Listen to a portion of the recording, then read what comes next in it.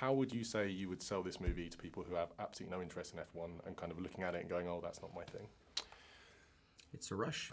Yeah, It's uh, it's it's uh, yeah. I think none of us were really, and Daniel had a bit more experience and a, appreciation for Formula One, but I certainly, um, you know, was uneducated in it, and Ron knew nothing about it to begin with, which I think. So we all came at it with a very enthusiastic, uh, open, uh, you know, an ap- appreciation for it, and, and Ron was able to go, okay, this is what's really interesting, and put this on screen instead of being you know, too educated in Formula One and being limited and restricted by kind of opinions. He, uh, and the thing about this story was that it was about, you know, the the the, the fact of this story and, and the journey of these two characters and the contrasting personalities was better than any fiction, you know, and it transcends the Formula One world. It was just about two fascinating human beings and and uh, and their rivalry and the yin and yang between the two of them and and um, you know, it's you're pretty unbelievable when you see the film and you get to the end of it and you think, oh, that must have been creative license, and they just, you know, but it wasn't. A lot of that was,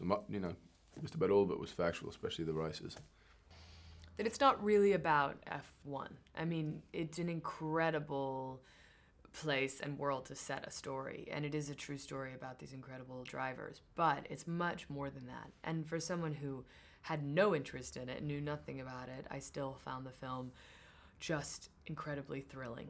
It is so exciting and sexy and heartbreaking and you know, women love this film, which I'm very proud of. I think it's a testament to the creative team that, that women who have no interest in the driving find the driving very exciting, but also the characters surrounding it just just wonderfully interesting. So it's a very big story.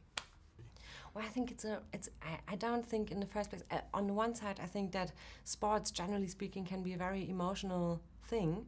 But um, even for people who have no connection, like I never had any connection to Formula One or something, I think it's a very touching story. It's a very, it's about two men, uh, two very different characters, and it's about how um, maybe uh, to begin with they're not the best friends, but then this tragic accident happens and that changes everything. So it's a very uh, human and personal story as well.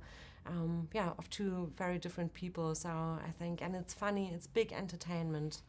Really, uh, yeah, it's fantastic. I've, I've seen the film for the first time with my husband and my parents, you know, and we're all very different people, but all four of us were absolutely, um, yeah, blown away by by this fantastic film. Yeah.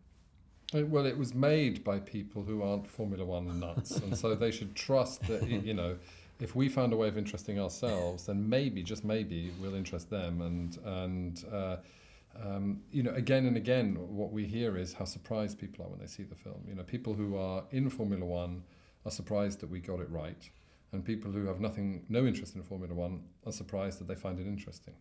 So uh, fingers crossed that those reactions continue. I think it's the it's the relationships. It's a unique set of characters. It's a sexy time, and yes, the sport defines them, but it's not about the sport. Uh, they have to judge, and I think exactly what you said is is the secret of it. Even if you're not a Formula One fan, you see two different personalities going for the same approach in a very interesting, dangerous world, and um, we will see what the what the people will say.